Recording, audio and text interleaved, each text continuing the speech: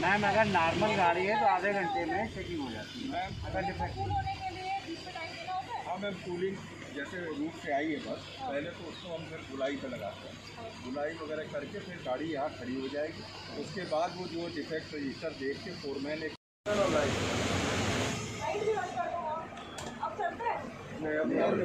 Of हो गया है। नहीं मेन अभी और अगर अगर लाइट ऑफ़ है तो वो ignition ऑन करोगे तब चलता रहेगा नहीं नहीं अभी जो कनेक्शन मुझे अच्छा तो कुछ वेरिएंट है रहे हैं। बस इसके अलावा बाकी सारी और रोड है? पाँच बजे सरेंडर सरेंडर पाँच सरेंडर है तीन तीन और हैं। तीन ये री- इनके रीजनल होता है इसमें मतलब बेसिकली ये दूसरी जो आपका दो दो घंटे का राउंड टाइम है रुकने का यहाँ पर क्या उसको कम किया जा सकता है नहीं मैम क्योंकि उसमें वाशिंग भी है मैम? ऑयल लेवल भी बड़ा रहता है वो कम होता है पर ये कि हवा जो होती है मैम वो सेटिल डाउन एक एक घंटे बाद ही। पर का मैम अगर नॉर्मल गाड़ी है तो आधे घंटे में चेकिंग हो जाती है। मैम अगर डिफेक्ट के है?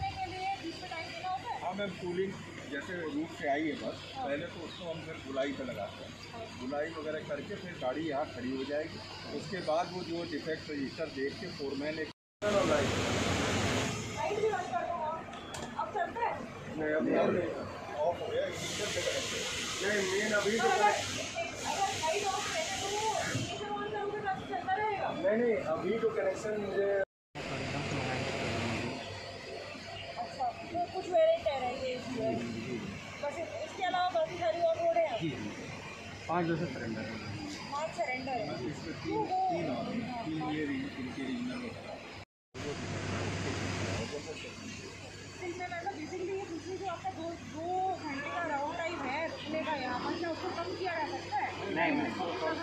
क्योंकि उसमें वॉशिंग भी है, मैम। ऑयल लेवल भी बड़ा रहता है गोल कम होता है पहिए की हवा जो होती है, मैम, वो सेकेंड डाउन एक एक घंटे बाद ही। पहिए का